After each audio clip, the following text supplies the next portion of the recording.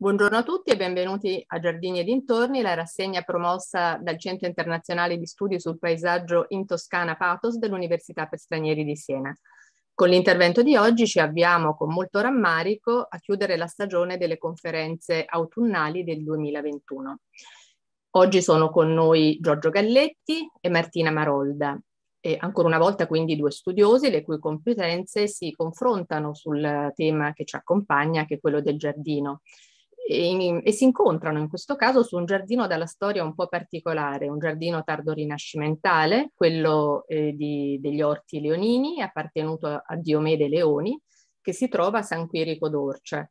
Un, un, caso davvero un po' speciale perché noi fino ad oggi abbiamo visto prevalentemente dei giardini che in qualche modo completavano delle residenze, delle residenze nobiliari prevalentemente, o giardini in convento. Ecco, in questo caso abbiamo il giardino un giardino che è svincolato da una residenza e che si sviluppa in contiguità di spazi che eh, non sono spazi patrizi, per esempio. Questo giardino, le vicende di questo giardino, noi le seguiremo anche in relazione alla sua fortuna odierna, alle sue vicende di questi giorni, perché si tratta di, di un caso davvero speciale anche in questo senso, in cui si può registrare un interscambio costante tra passato e presente, poiché ospita ormai da 50 anni la rassegna di arte contemporanea Forme nel Verde. Quest'anno, tra l'altro, appunto ricorrono i 50 anni dalla istituzione di questa iniziativa. Veniamo a questo punto agli oratori e cominciamo con Giorgio Galletti che sarà il primo a prendere la parola perché ci accompagnerà nella scoperta del giardino per quella che è la sua fase iniziale. Giorgio Galletti è uno storico dell'architettura, è stato impegnato per un lungo periodo nella soprintendenza di Firenze e, e insegna oggi al um, eh, restauro dei giardini, dei giardini storici all'interno del master di paesaggistica di architettura all'Università Fiorentina. A Firenze però svolge anche l'attività di libero professionista. Come avrete capito, ovviamente ha una grandissima competenza in fatto di giardini storici, tanto che per esempio dal 2016 fa parte della Commissione internazionale per la revisione della carta ICOMOS-IFLA relativa ai parchi pubblici urbani storici. Questi interessi nel tempo lo hanno portato a occuparsi del restauro eh, di, di molti giardini storici. È in questo senso, in questa veste, che per esempio nel 2020 eh, si è occupato del master plan del restauro del, del, giardino di Boboli, quindi un giardino importantissimo per la storia di Firenze. Ha seguito tanti restauri importanti, per esempio anche fuori Firenze. A Roma ne ricordo solo qualcuno, quello di Villa Medici, ehm, ma si è occupato a Roma anche per esempio di altri complessi. Più volte è intervenuto sul giardino di Villa Borghese, si è occupato anche del giardino della Villa eh, Paolina Bonaparte, e a Firenze ovviamente i casi sono mm, ancora più numerosi. Si, mm, a Firenze ha seguito i restauri del um, giardino del Parco della Gherardesca e, e, e, i restauri dei giardini di molte ville medice, per esempio quello della Petraia, quello di Castello, quello di Poggio a Caiano e poi mh, mm, giardini di, di residenze eh, che sono altre istituzioni museali importanti, come per esempio quello Bardini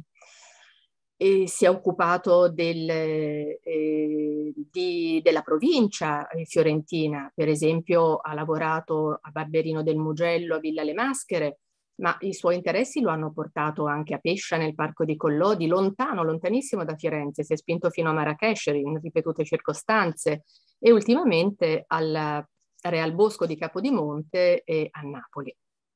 La sua bibliografia è una bibliografia molto variegata, e anche molto nutrita. Segnalo in questo senso, per esempio, gli interventi sul Palazzo Besta a Teglio, edito con Mulazzani nell'83, le ville e giardini di Castello e Petraia, uno storico intervento realizzato questo con Cristina Cidini Luchinat nel 1992, e poi ricordo i contributi sui giardini di Cecil Pinsen in Toscana, e poi una serie di affondi, per esempio, dedicati al giardino di Boboli, sul quale è intervenuto in relazione a molti aspetti, mh, aspetti che lo hanno portato ad approfondire le vicende della Grotta Grande di Boboli, la grotta cioè del Buontalenti, il, l'anfiteatro e poi e che lo hanno condotto a studiare anche gli interventi di Paoletti, Poccianti e Caccialli. Non meno importanti però sono stati anche i suoi contributi dedicati ai giardini letterari e gli interventi eh, che hanno avuto per oggetto l'esame dei parchi ottocenteschi di Poggi, per esempio. E vediamo a questo punto a Martina Marolda, la quale invece è una storica dell'arte contemporanea. Eh, è una studiosa molto giovane ma molto vivace eh, che si è laureata e specializzata a Siena e ha dottorata eh, a Firenze. E ha spiccati interessi in relazione alla, alla, video, alla videoarte, all'arte degli anni 30, alla storia dell'architettura. Ha già al suo attivo una variegata rassegna di iniziative, specialmente in area senese, ha lavorato infatti a, a San Gimignano e, con Culture Attive, a Colle Valdelsa e nel comune di Siena. Iniziative che l'hanno portata a collaborare con musei e con istituzioni locali e internazionali. Ricordo in questo senso per esempio l'importantissima Galleria Continua o anche l'Università di Siena, quelle, quelle strutture che sono impegnate nella promozione quindi dell'arte contemporanea. Anche lei ha già all'attivo molte pubblicazioni, ne ricordo qui qualcuna. Ricordo per esempio la curatela eh, della mostra post Fata Resurgo del 2013 tenuta al Museo Internazionale delle Ceramiche di Faenza, i saggi Emporium, politiche editoriali e prassi redazionali nel carteggio Piga Gaffurri del 2017, Adrian Pacis Art House in Scolder e Common and Shared Space Between Cultures and Art del 2019 la formazione e il contesto senese tra anni 20 e primi 30 del 2020 e dello stesso anno se ascolto dimentico, se vedo ricordo, se faccio capisco, e leggere la propria città attraverso l'arte eh, contemporanea.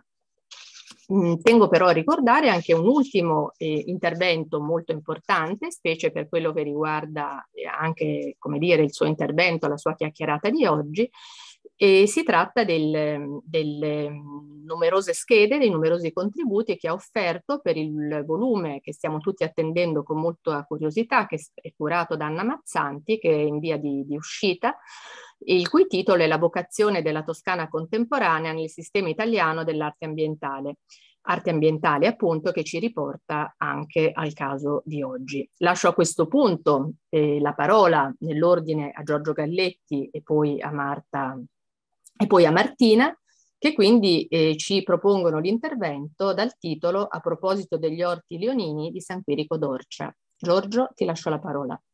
Mi sono occupato degli orti leonini eh, per un ben preciso motivo perché mi è stato chiesto di fare una consulenza a un lavoro, un grosso lavoro di intervento sulla parte eh, cosiddetta del bosco della ragnaia che versava in condizioni veramente eh, preoccupanti. Quindi eh, questo lavoro è stato iniziato, comunque lo studio nel 2018, è mh, praticamente ancora in fase di conclusione e ehm,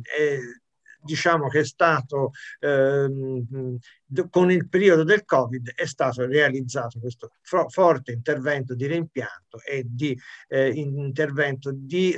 parte di sostituzione e parte di eh, potature degli alberi di questo bosco che erano veramente eh, in cattive condizioni lavorando su questo e facendo una ricerca, grazie anche all'amico Alessandro Chermona, che è uno storico dell'arte, che lavora al, mm, al è, diciamo lo storico dell'arte che si occupa delle ville comunali del Comune di Roma, eh, sono eh, venute fuori un documento molto importante che è ancora inedito, ma lui mi ha dato informazioni, eh, della Biblioteca Nazionale di Parigi dove eh, è, sono raccolte, c'è in questa biblioteca la silloge delle iscrizioni che Diomede Leoni aveva, eh, di, che Diomede Leoni aveva scosparso nel suo giardino e anche in una piccola dimora che lui si era costruito sulle mura che eh, delimitavano a ovest il giardino, che il giardino è una parte del cassero delle mura di San Quirico d'Orcia di origini medievali. Eh, Diomede eh, ebbe in praticamente la, la, la storia complessa in concessione dal cardinale Ferdinando de' Medici, prima che diventasse Granduca di Toscana, quindi quando era cardinale a Roma, in concessione questo terreno dove lui crea degli orti. Il problema è che spesso si legge, eh, anzi c'è questo luogo comune che eh, sto cercando con altri di sfatare, che il giardino del, che vediamo oggi, questo parterre con questa composizione a, eh, radiale, eh, che gli inglesi chiamano Union Jack, sia ancora il giardino di Diomede Leoni e che sia ancora un giardino perfettamente conservato. E non c'è niente di più sbagliato per vari motivi. Eh, intanto eh, la, eh, la, ehm, la, silloge che riporta eh, tutte le iscrizioni che erano nel giardino riporta anche un'iscrizione di cui parlerò dopo, cercherò di fare presto, che dà una descrizione di come era fatto l'orto di Diomede. Quindi da questo luogo comune e io avevo sempre sospettato che si trattasse di un revival perché eh, conoscendo un po' la storia dei giardini rinascimentali, se c'era una pianta che era profondamente desestata nella seconda, nel corso del Cinquecento, era il bosso. Eh, c'è una continua raccomandazione da parte dei trattatisti di non usare il bosso perché emanava cattivo odore, perché eh, vi si nascondevano le serpi e anche in tu, cioè, esiste tutto un carteggio che riguarda Villa Medici dove mh, fra il segretario di, di, di di Ferdinando eh, De Medici era già diventato Granduca e il segretario e il giardiniere Marenzio di non piantare assolutamente il bosso perché appunto per questi suoi difetti e anche impedisce di eh, coltivare altri fiori o ortaggi. Ma chi era Diomede? Diomede eh, è un personaggio in parte stata ricostruita da una studiosa americana, un po' la sua biografia, comunque da varie notizie sappiamo che nasce nel 1522 e muore nel 99. È stato protetto in parte da eh, quando era giovane mh, addirittura va a Parigi eh, mh, che è sotto la protezione di eh, ah, scusate un attimo la, sotto la protezione un piccolo, ah no, dei Corner, va a Parigi sotto la protezione del cardinale Corner che poi lo introduce tramite eh, un cugino de, del cardinale Corner, Francesco Pisani, lo introduce a Roma. E lui che fa? Comincia a studiare e a fare eh, a vedere tutti gli scavi che stanno avvenendo in quel periodo, quindi siamo nella seconda metà del Cinquecento e eh, oltre quello si dedica anche a, eh, a, allo studio delle piante e quindi eh, entra nel cerchio del cardinale Ferdinando de' Medici. E lui è la, acquista eh, alcuni pezzi importanti per Ferdinando de' Medici, quali il vaso Medici, l'obelisco che egizio che viene dalla, dalla Minerva, da, dalla piazza della San, da, dalla chiesa di Santa Maria sopra Minerva, e, e, ehm, e quindi il vaso Medici, ma anche altri reperti meno noti. E oltretutto lui si specializza nel mestiere di epitomatore, cioè di conosce il latino molto bene e quindi a studiare le iscrizioni antiche e a comporle di nuove di iscrizioni antiche, fra cui anche eh, per, eh, ad esempio, per, eh, ehm, lavora per Alessandro de' Medici, prima che diventi eh, futuro Papa Leone XI, e scrive, fa delle iscrizioni destinate alla Villa della Melia. Ma perché le iscrizioni? Perché è un carattere di Roma, forse l'abbiamo soltanto a Napoli, i giardini avevano questa tradizione di avere delle lex ortorum, leggi sugli orti. e che sono ispirate alla, a iscrizioni appunto antiche, classiche e ad esempio eh, vediamo c'è un esempio qua, un'importante collezione di antichità era quella del cardinale Andrea della Valle eh, e qui vediamo un'incisione di Francesco, Francisco d'Ollanda. Andrea della Valle aveva un eh, giardino pensile eh, con bassorilievi e sculture di vario tipo e una serie di descrizioni che sono, vedete, in alto al, non so se si vede il mouse, insieme a queste eh, maschere teatrali, delle iscrizioni che parlano di varie cose, di amicizia, di benvenuto, sono dedicate a, appunto al visitatore, agli ospiti. Ci si può ricollegare anche al Trattato dello Splendore di eh, Giovanni Pontano, che scrive appunto che ci deve essere benvenuto da parte del, del, proprietario che ha una collezione, quindi ha degli splendori nella sua dimora e soprattutto anche nel giardino. Ecco, vedete qui c'è la mh, trascrizione delle, delle, mh, delle eh, delle iscrizioni che, nel, nel, che erano nel cortile del cardinale Andrea della Valle. Dico sol, soltanto una molto importante, secondo me, per un giardino di antichità, quale aiuto ai pittori, ai poeti, oppure in memoria dei nostri avi per l'emulazione dei loro discendenti. Quindi moltissimi giardini romani all'ingresso avevano una lex ortorum ad esempio, Ferdinando eh, la, nel portone, nel portale principale d'ingresso alla Villa Medici al Pincio, fa inserire due iscrizioni eh, che sono ancora ben leggibili e lui, dove lui si ricollega praticamente al, a, a quelli che avevano creato nel Pincio, eh, vari giardini come Sallustio, eh, gli orti sallustiani, eh, mi viene in mente, e quindi lui eh, scrive appunto che riporta allo splendore e riporta lo splendore al colle degli orti, il colle Sortolorum, che è il Pincio. Quindi la eh, tradizione delle iscrizioni è molto importante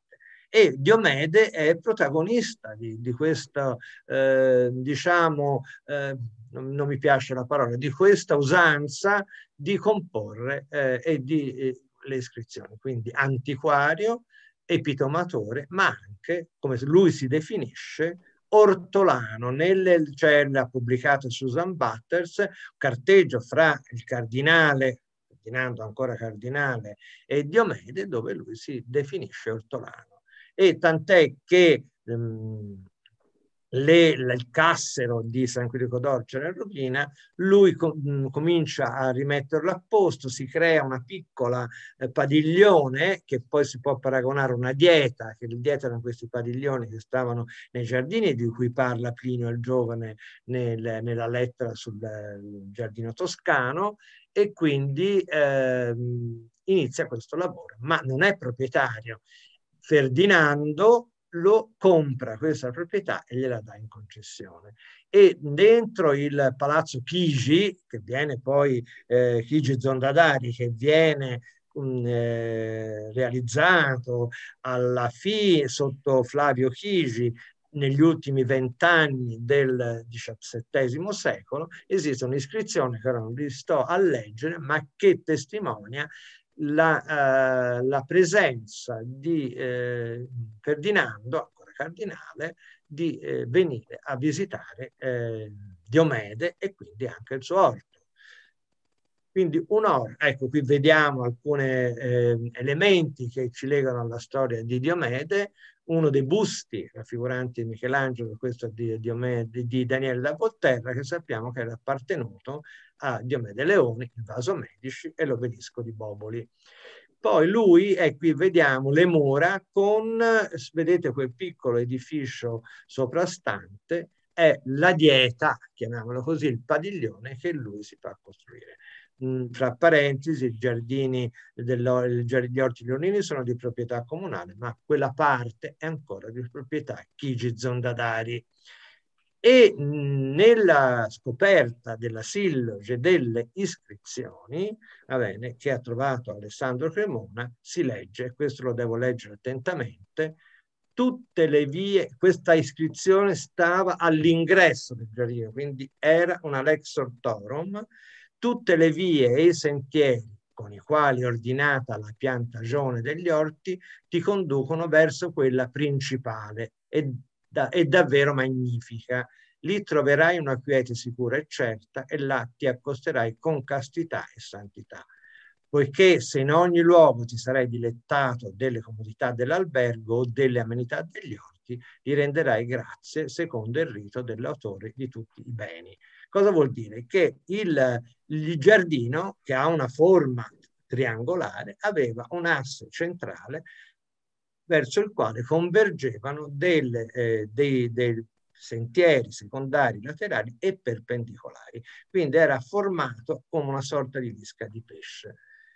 Quindi questa iscrizione è molto importante, come altre iscrizioni, fra cui di ispirazione antica, fra cui questa che ancora leggiamo, perché molte sono andate perdute, eh, questa omitte mirari beatet fumus et opes strepitunque Rome. Eh, cercate di evitare eh, di ammirare il, la, la, il, la, polvere e, e, e il rumore delle, delle, architetture della Beata Roma, come per dire state lontani dallo strepito di Rama, tant'è che Diomede ama ritirarsi poi da Roma e stare nei suoi orti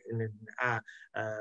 a San Quirico, oppure questa è molto interessante, che sta dentro la collezione Chigi Zondadari da Pessinenta Sa. Parat, cioè è ripresa da uh, Orazio, cioè voi uh, prendete delle vivande, delle vivande che non siano comprate ma che siano coltivate.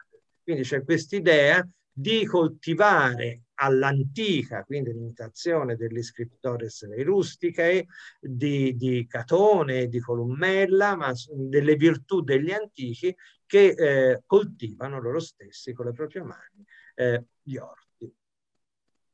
Vediamo qui alcune immagini, vedete ancora in quella in alto a sinistra, una, sappiamo, ci sono documenti che lui si fa, costruisce una sorta di galleria sopra le mura, purtroppo queste tratto delle mura di San Quirico è stato bombardato, oggi è stata creata una porta, ma è post nel, dopo la guerra, il cassero ancora con il giardino, eh, il, con la ragnaia ancora potata come erano piantate e potate le ragnaie, e quello che resta del cassero prima, questa è una foto di qualche anno fa, vedete questa massa arborea che, era la, che è, costituisce la ragnaia, poi due parole sulla ragnaia proverò a dirla, e questo giardino di Bosso eh, e, e topiario è ritenuto da tutti un autentico giardino del Cinquecento. Mi piace, dispiace sfatare questo mito, però ormai da parte di molti è accettata questo fatto che si tratti di una ricostruzione ottocentesca. E vediamo bene da un documento importante che è la veduta di Vincenzo Ferrati, che sappiamo nel cartiglio, anche se mi pare che nessuno l'ha notato, mi pare, e poi può darsi che mi sbagli, c'è proprio la data 1700, quindi viene fatta ad annum. Questa descrizione della, questa veduta a volo d'uccello della, della spostare, ecco, della, di San Quirico, vediamo eh, or, gli orti eh, in questa zona con ancora il cassero, con la loro forma triangolare, se si, non so se si nota, quindi un viale centrale rettilineo che traguardava una piazzetta circolare da cui poi si capisce che partiva una scala che conduceva al piano del cassero e le eh, vialetti laterali, quindi perpendicolari, che erano proprio, si, si intravede nel, nell'incisione del Ferrati, che erano porche. Le porche sono aiole per la coltivazione, quindi c'era una coltivazione di orti di ortaggi, di cibo, di alberi da frutta. Questo è quasi eh, documentato e chiaramente in una situazione del genere un giardino formale come siamo abituati a vedere oggi eh, non poteva esistere. Quindi è, eh, sicuramente abbiamo un'immagine completamente falsata, a cui si aggiunge anche la posizione della statua di, eh, che raffigura Cosimo III de' Medici, che in realtà era destinata a stare, mi pare, nel cortile del Palazzo Chigi Zondadari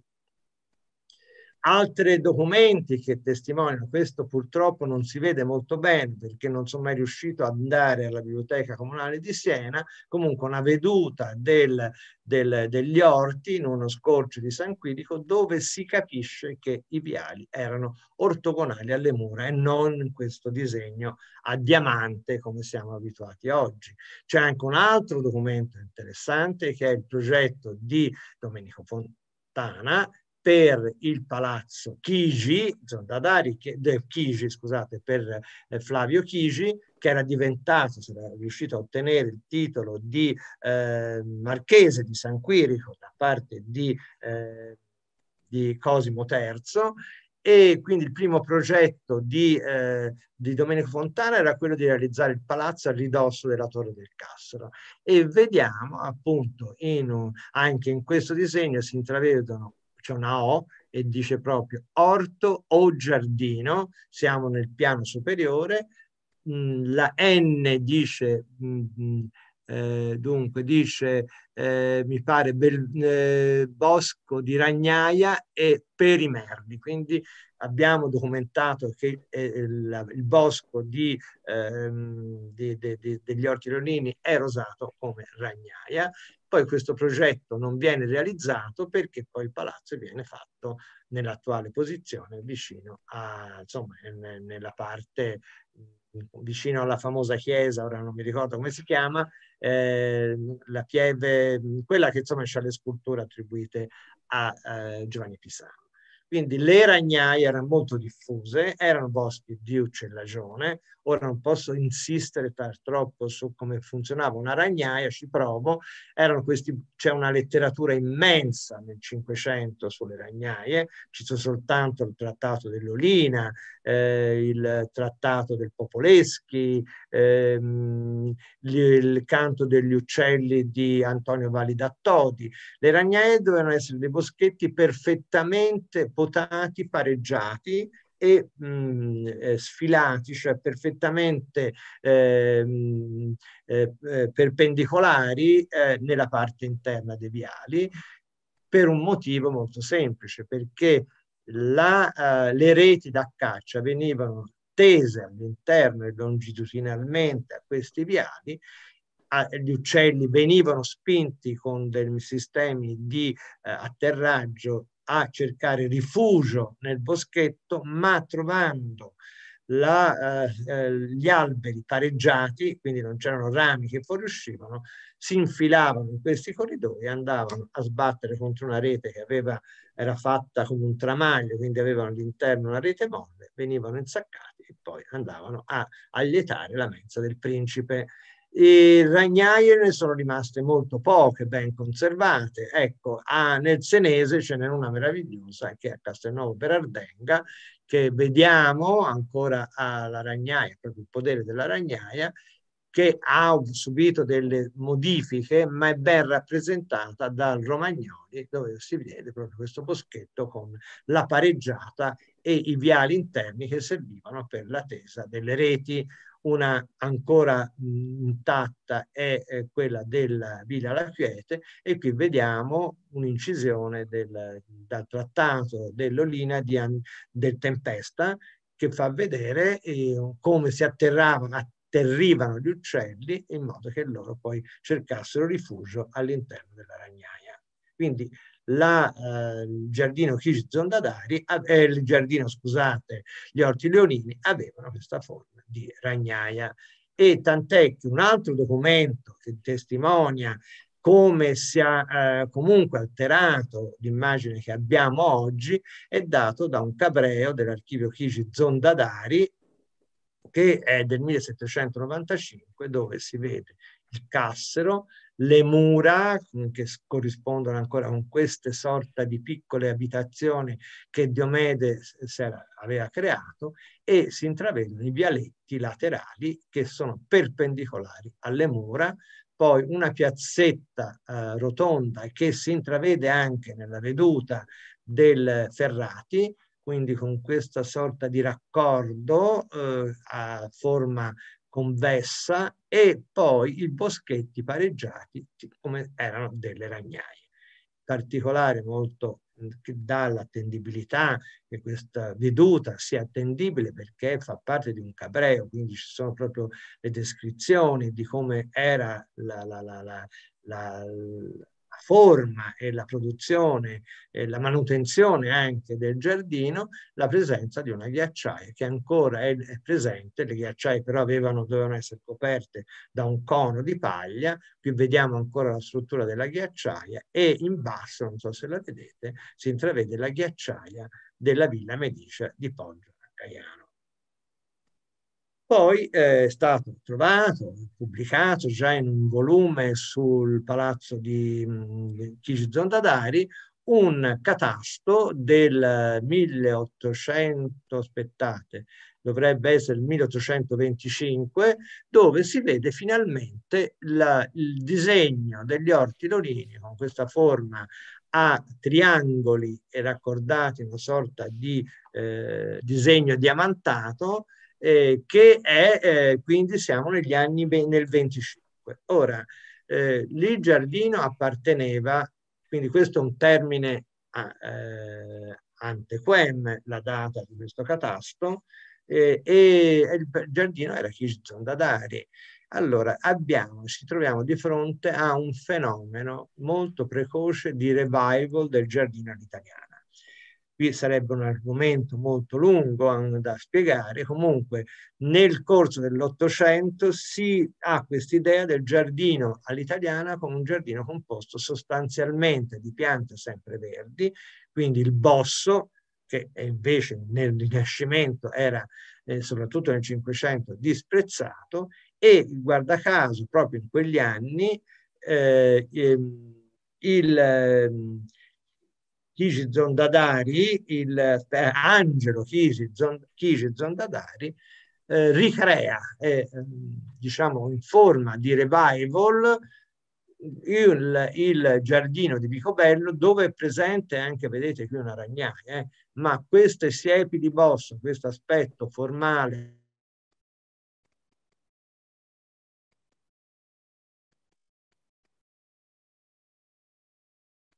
con questi parterre, con il boss, dal, oh, scusate spengo,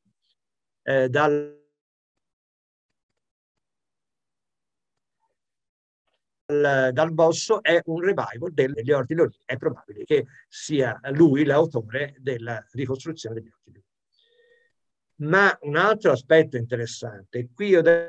devo purtroppo fare una critica, esistono oltre questi luoghi comuni che comunque si leggono di questo giardino che è una capsula del tempo del Cinquecento, c'è stata una studiosa che eh, ha eh, supposto, siccome ehm, Diomede era molto legato a Michelangelo e quindi eh, lui assiste insieme a tutta la cerchia di Michelangelo alla morte di eh, Michelangelo insieme a Alessandro de' Medici, Tommaso del Cavaliere, Giacomo del Duca,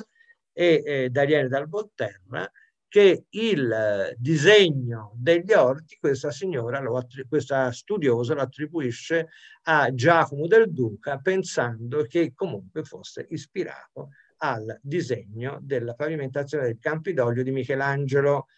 Allora, la, la veduta del Ferrari e il, la, il cabreo del, del Chigi Zondadari eh, e la descrizione della Lex Ortorum nella Silloge che sta alla Biblioteca Nazionale di Parigi, tagliano la testa al toro, che questo è il, il, il disegno a, diamantato, è eh, un disegno non quello originale di Diomede, ma c'è anche da dire questo, ricordiamoci che comunque anche il mh, pavimento del Campidoglio, pur puntualmente concepito da Michelangelo, è stato realizzato negli anni 40 data del XX secolo sulla base di un'incisione di Etienne Duperac.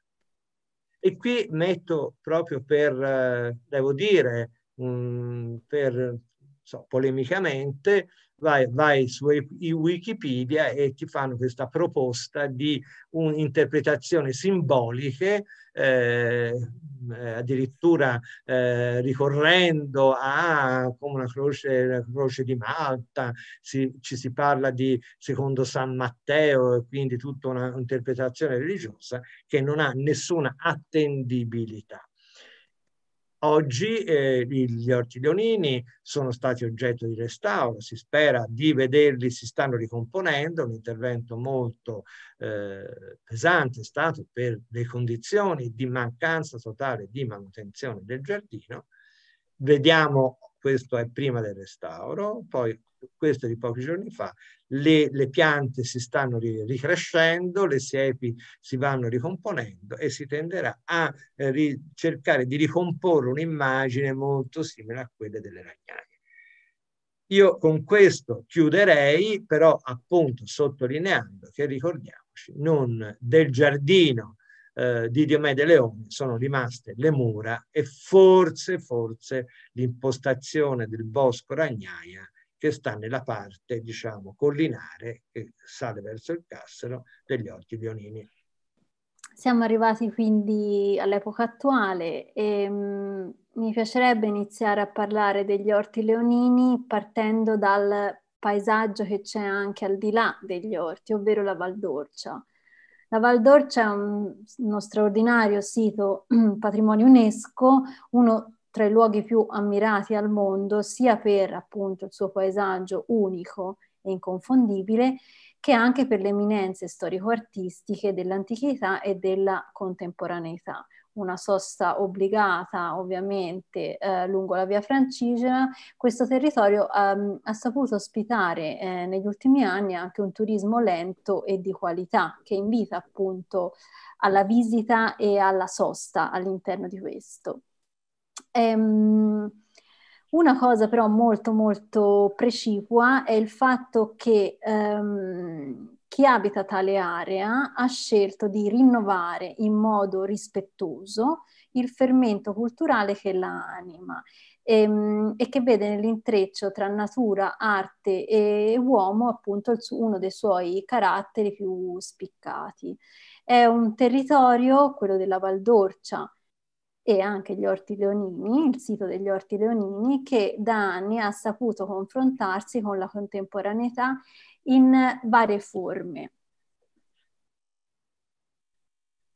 Una di queste, appunto, è la rassegna che da eh, 50 anni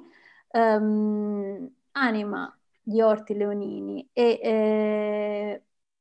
fa, lo fa rivivere rileggendolo in chiave appunto contemporanea. Um, vi porto l'edizione attuale, quella del 2021, che celebra appunto i 50 anni. Eh? È un'edizione che arriva dopo la pausa forzata dello scorso anno, del 2020, e, ehm, e perciò innovativa, che mette comunque nel rispetto della prima edizione um, mette sempre come base il confronto tra lo stile classico e quello contemporaneo a cui guarda con entusiasmo da sempre. Um, la cinquantesima edizione, dicevo un'edizione innovativa perché è un'edizione ancora più diffusa rispetto agli, agli anni passati. Diretta da Carlo Pizzichini, eh, vede la personale di un artista di origine albanese, Elidon Sciscia, eh, e pone al centro la scultura in particolar modo anche la terracotta eh, come tipo di materiale che viene utilizzato. Um, è tuttora visitabile, è stata inaugurata il 24 luglio e durerà fino al 2 di novembre e presenta al pubblico, appunto, oltre alla personale di Sciscia, anche eh, alcune rare ceramiche di San Quirico d'Orcia della fine del Seicento che dialogano con quelle contemporanee di Paolo Polloniato, um, c'è un omaggio al suo fondatore Mario Guidotti, una selezione di opere degli allievi dell'Accademia Italiana di Belle Arti Insomma, un modo sicuramente per gettare le basi eh, future e ripercorrere tutto il lavoro ehm, che è stato fatto fin qui e portato avanti negli anni dall'organizzazione e dal comune. Ehm, ponendo sempre particolare attenzione alla giovane creatività Eccolo qua, um, Forme nel Verde, la mostra internazionale di scultura contemporanea eh, nata qui da un'idea del giornalista, curatore e scrittore Mario Guidotti, che è scomparso, scomparso circa dieci anni fa, che nel 1971 ebbe l'intuizione di demusealizzare l'arte, portandola in mezzo alle persone, calandola quindi nella loro quotidianità, secondo quel principio della continuità tra l'antico del paesaggio e il moderno delle opere, fra la logica delle aiuole di verde e il senso o non senso delle strutture che le vanno ad animare, che le vanno a, che ci vanno a dialogare insieme. Um, qui appunto eh, c'è una testimonianza delle tre figlie di Guidotti eh, che ci parla del momento dell'idea iniziale che ispirò appunto il fondatore della rassegna. E proprio mentre rientrava di notte, percorrendo i tornanti che da Montalcino scendono verso San Quirico, ebbe una visione che amava raccontarci. Una sagoma bianca gli apparve all'improvviso rischiando di farlo andare fuori strada. Era la statua di Cosimo III dei Medici, che si trova al centro degli Orti Leonini, il bellissimo giardino michelangiolesco di San Quirico d'Orcia. La visione gli suggerì l'idea di una grande mostra di scultura informale, astratta, concettuale, povera, moderna e qui fa vedere proprio poi tutta l'evoluzione perché diciamo c'è un po' di tutto anche in questo racconto eh, fatto dalle figlie, in contrasto con la perfezione geometrica razionale. Il progetto di vivere le forme dell'arte. L'elenco degli artisti che hanno mostrato, nel senso letterale della parola, le loro opere è infinito. Ognuno, dal più famoso all'emergente, ha voluto dare il massimo, esprimere la sua visione, a volte anche al di là delle proprie forze. Mario Guidotti, nostro padre, organizzava l'evento ogni anno con lo stesso entusiasmo della prima volta, quando quasi nessuno poteva credere a quel miracolo di unione tra il sacro, il perfetto giardino all'italiana, e il profano, arte a volte dissacrante e incomprensibile. E, ehm, diciamo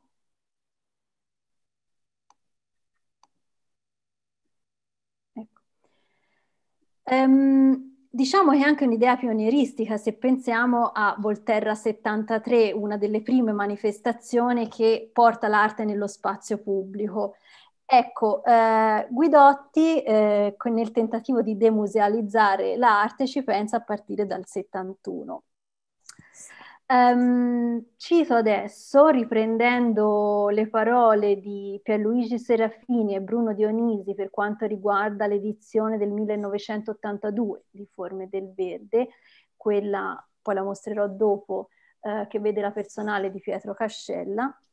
Um, la mostra ha sempre seguito con coerenza l'indirizzo critico di inserire in un ambiente naturale nello stesso tempo razionale, qual è un giardino cinquecentesco all'italiana, delle opere moderne, create con mutevoli espressioni, ora intuibili, ora ermetiche, ora leggibili, con cui si esprime l'arte contemporanea, in maniera da arricchire e valorizzare le esperienze dei singoli artisti.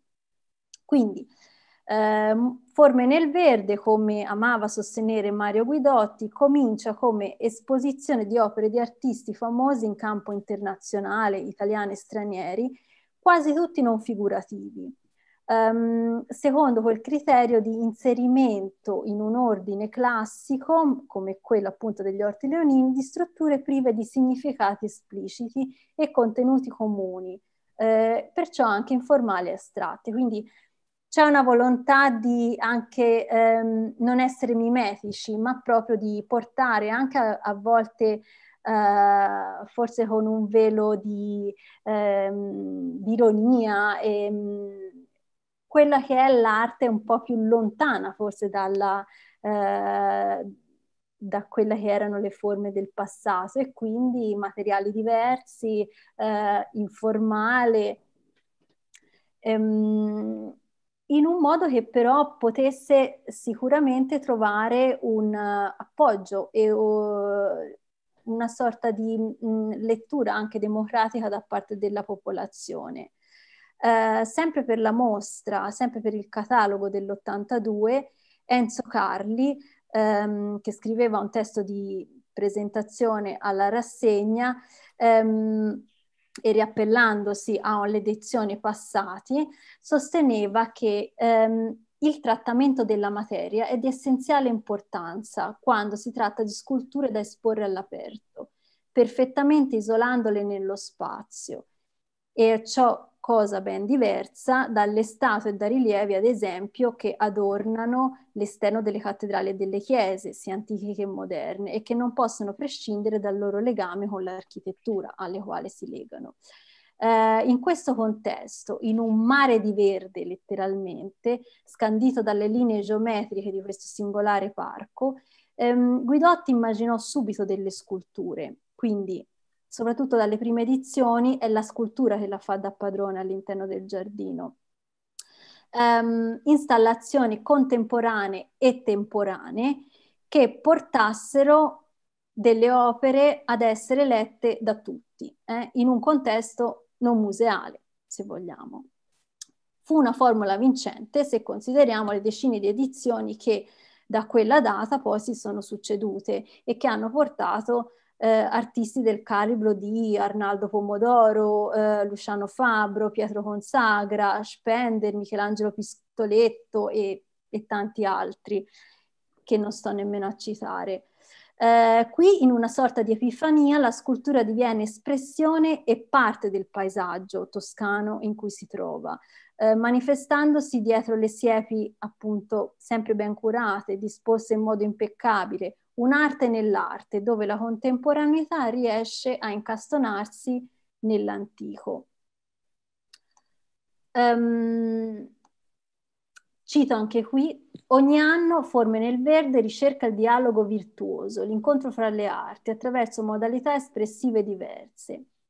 Per l'artista chiamato a esporre, ogni volta una sfida, interpretare le geometrie all'italiana del parterre, il bosco all'inglese del declivio che porta al ripiano superiore secondo la propria sensibilità e aprire con gli elementi di architettura verde un discorso estetico rispettoso insieme e fecondo di nuove interpretazioni e di nuovi possibili punti di vista sul giardino e sulle proprie opere.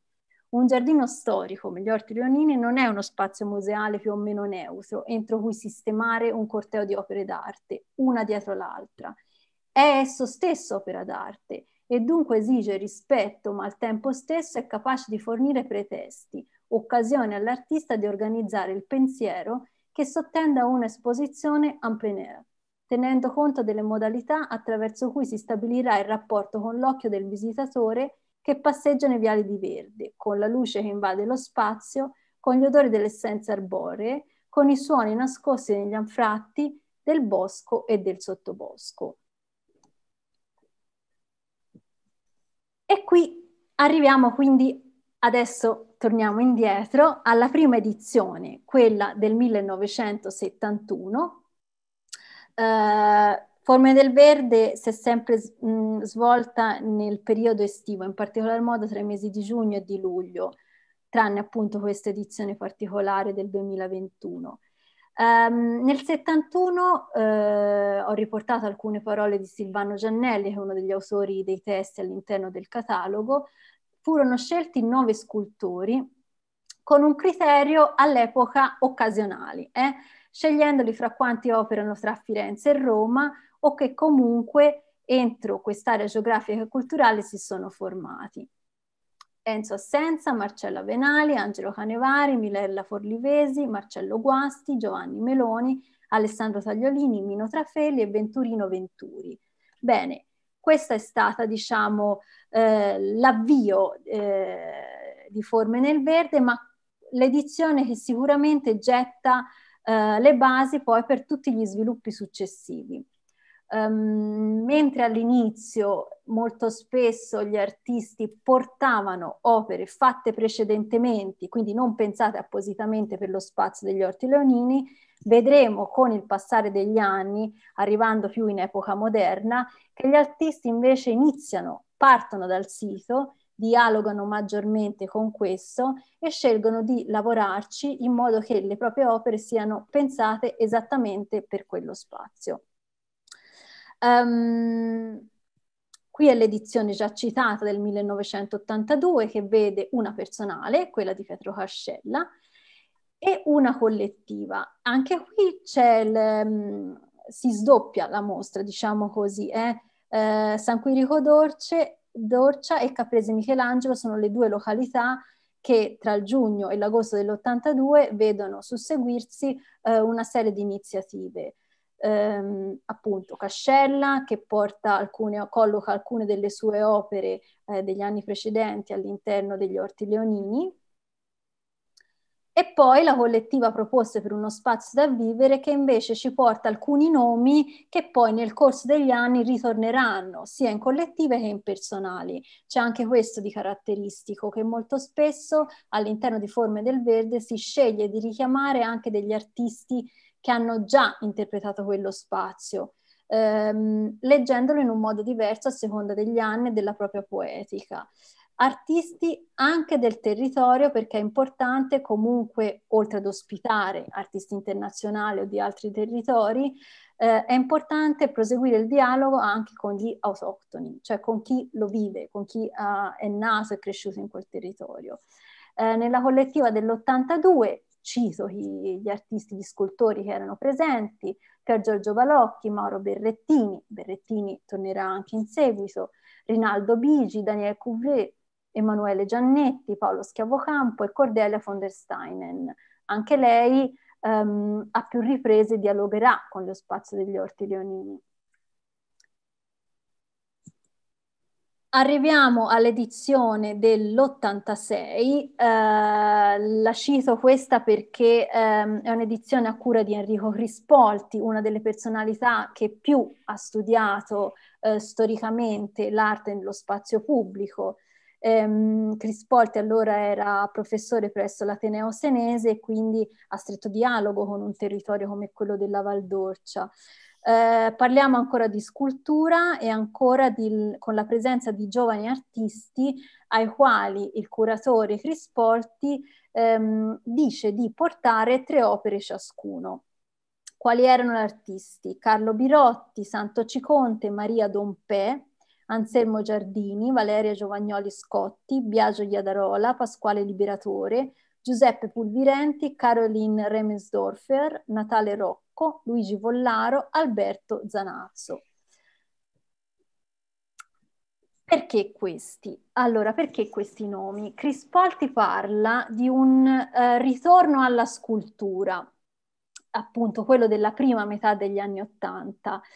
che eh, vuol dire sostanziale restituzione della centralità tradizionale del fatto plastico, non solo come massa, ma spesso anche come figura. Un ritorno all'uso di materiali appunto tipicamente tradizionali per la scultura, anzitutto il marmo in particolare, e un ampio repertorio anche prezioso di pietre. Tuttavia, anche materiali poveri, eppure di ricca e non meno aulica tradizione, come la terracotta,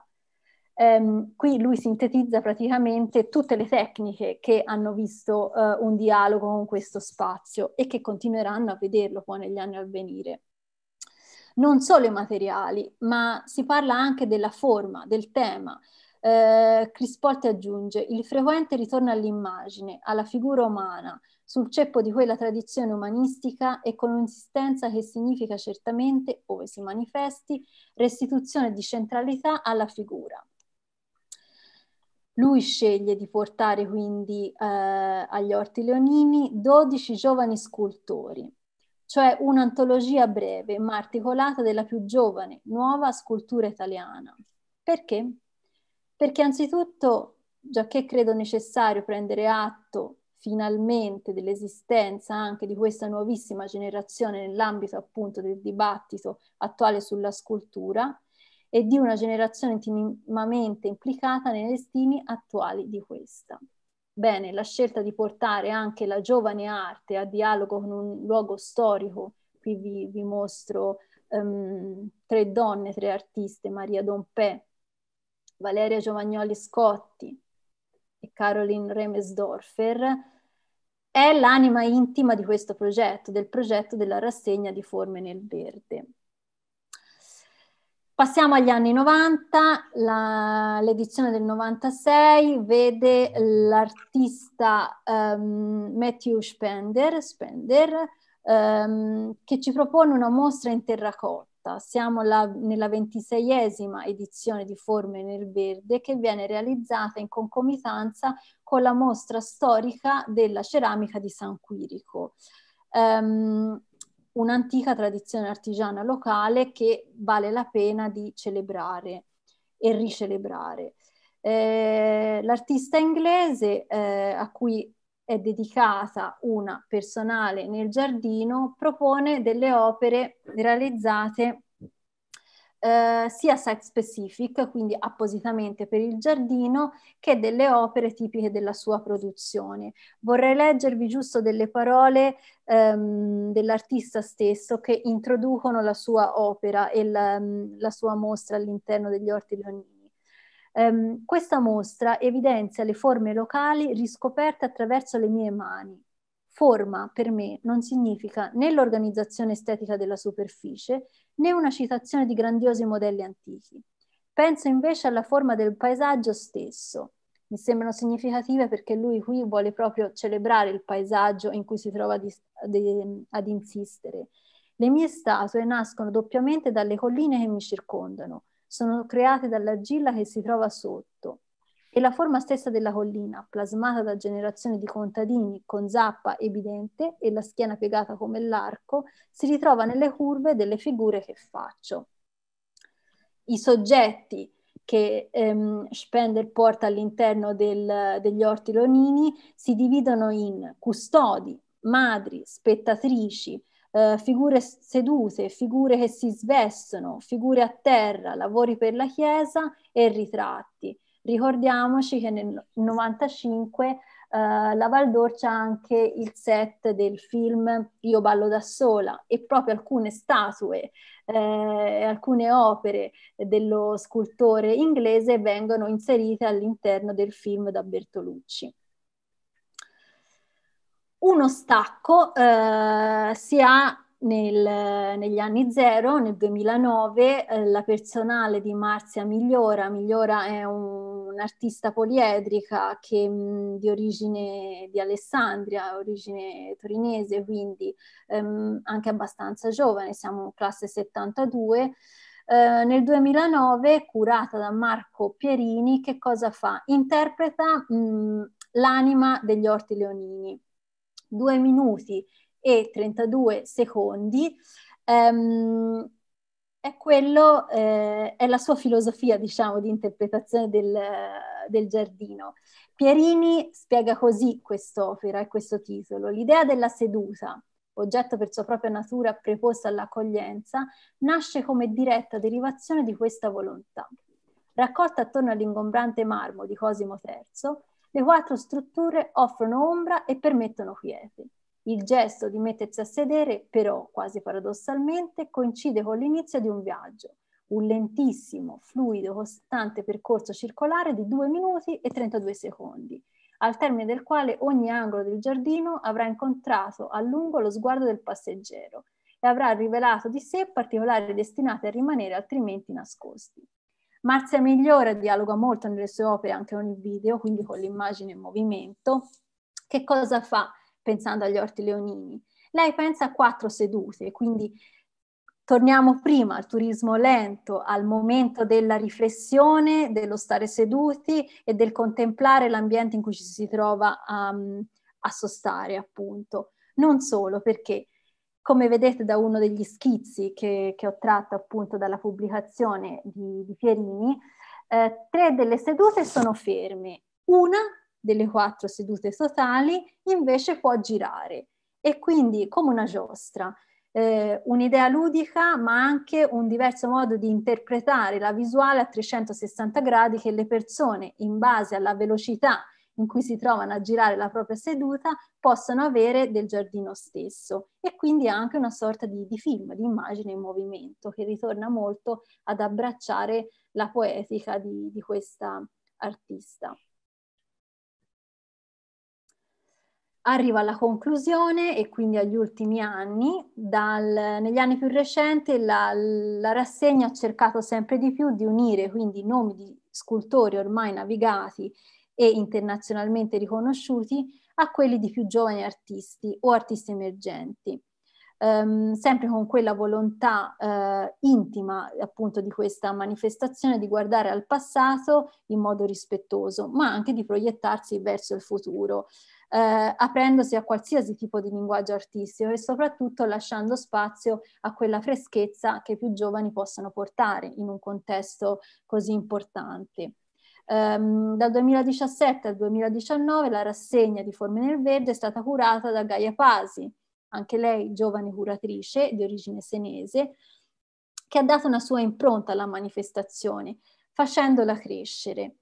Um, come dice eh, Pasi, mi occupo di arte emergente da sempre e quindi ho subito pensato di coinvolgere i giovani artisti e dare spazio alla loro formazione e promozione. San Quirico si è trasformato in un cantiere d'arte dove nei 15 giorni di allestimento si organizzano workshop con gli studenti, si producono installazioni set specific, performance e giornate di studio su argomenti speciali. Questo è importante perché la manifestazione non è più um, rilegata alla mostra, ok? Ma prevede anche tutto un percorso partecipativo e formativo precedente, quindi um, e contestuale ovviamente ai giorni della mostra.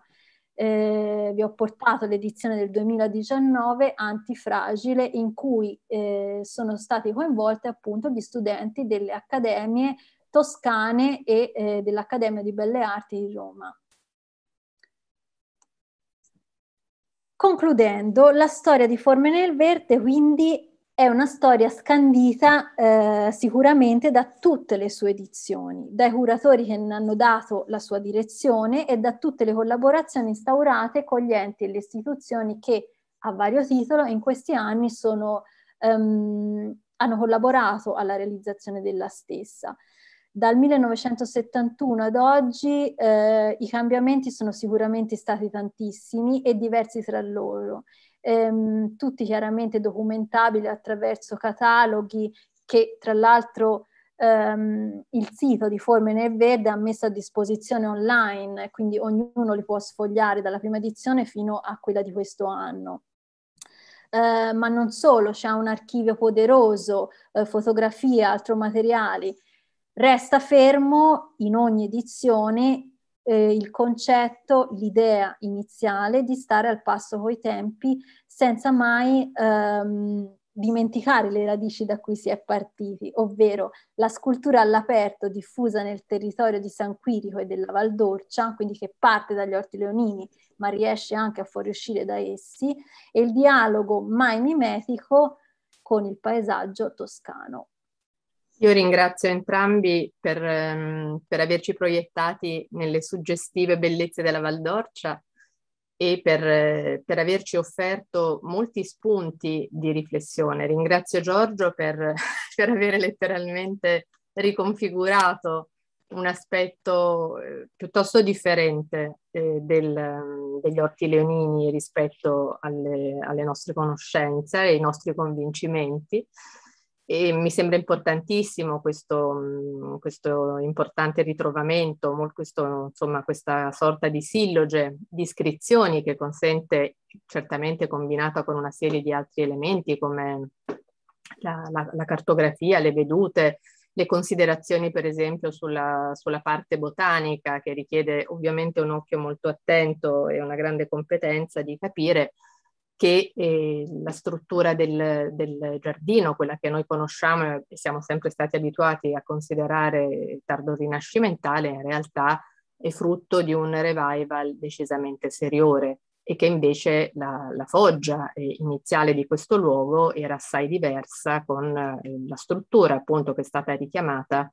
eh, a lisca di pesce. È, è il caso appunto in cui il, lo storico, il lavoro dello storico, del, dello storico del giardino è in grado appunto di andare a riconfigurare l'assetto originario di un luogo partendo da delle tracce che a volte sono anche delle tracce eh, diciamo apparentemente secondarie che in questo caso hanno quagliato insieme grazie appunto all'elemento decisivo del ritrovamento documentario francese, ma insomma mh, mm, mi sembra una restituzione questa molto importante. Grazie anche a Martina, Martina Marolda, che ci ha eh, invece accompagnati nella scoperta eh, degli orti leonini e nella proiezione che questo luogo si è trovato ad avere nella, nella dimensione eh, contemporanea grazie appunto alla rassegna Forme nel Verde consentendoci in questo modo anche proprio attraverso la serie di esemplificazioni, questa sorta di cavalcata quasi, no? che ci ha proposto ad ampio spettro cronologico nell'ambito di questi 50 anni di vita della, della, della rassegna, ci ha consentito di vedere quanto possa essere prolifico il dialogo tra, tra passato e presente, e quindi anche come il giardino e il paesaggio, e questo lo dimostra proprio l'edizione di quest'anno che appunto ha sconfinato dai, dal, dal, perimetro del giardino nel paesaggio della Valdorcia,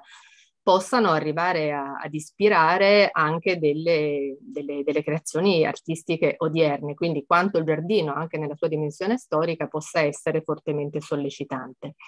Grazie anche a tutti coloro, a tutti voi che, eh, che ci hanno seguito eh, fino a qui e che invito a restare in contatto con, eh, con il sito del, del centro sul paesaggio toscano per, eh, per, vedere le iniziative che mh, vi, vi, avranno luogo, altre mostre, una l'abbiamo appena postata, ma altre mostre verranno postate nel corso dei prossimi mesi. Quanto invece alla rassegna Giardini e dintorni, sospendiamo per il momento i lavori e vi do quindi appuntamento alla primavera del 2022. Grazie a tutti e buonasera.